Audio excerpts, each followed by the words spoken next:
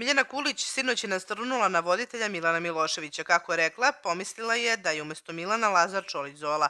Ona je uzela kamen i gađala te pogodila voditelja u leđa. Malo pre tog incidenta Miljana se valjala po polu u histeričnom vrištanju te tražila od bezbeđenja da izvede na razgovor sa produkcijom.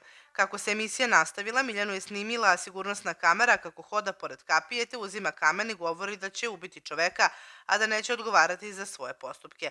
Kulićeva je više navrata govorila da neće odgovarati za svoje postupke i kada je nasrnula na Marka Đedovića, ali na Zolu, jer navodno nije popila terapiju. Više o dešavanjima u zadruzi čitajte na portalu srbijadanas.com.